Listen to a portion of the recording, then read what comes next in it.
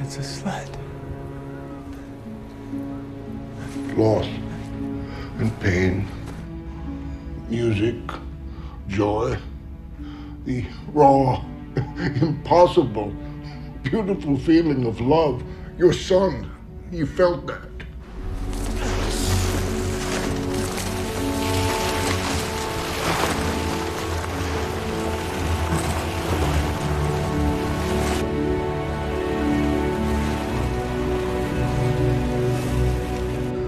That girl, she has felt it. That's enough.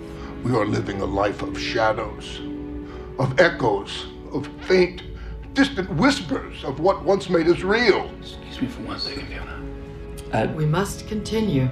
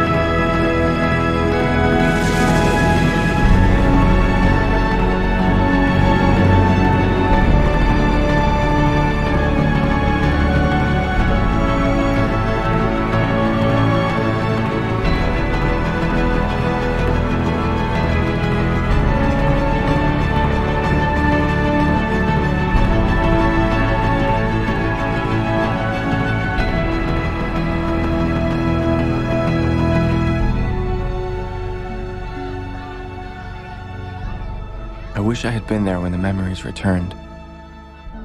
They were the truth. The elders and their rules were the lie. So I do not apologize.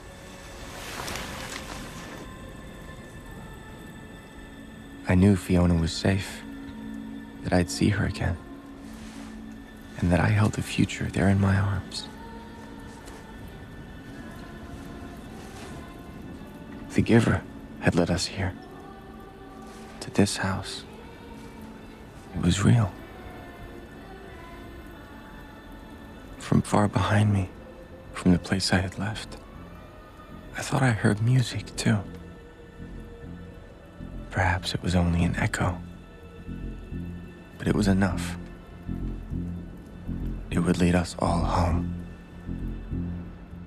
Today I took a walk in the clouds.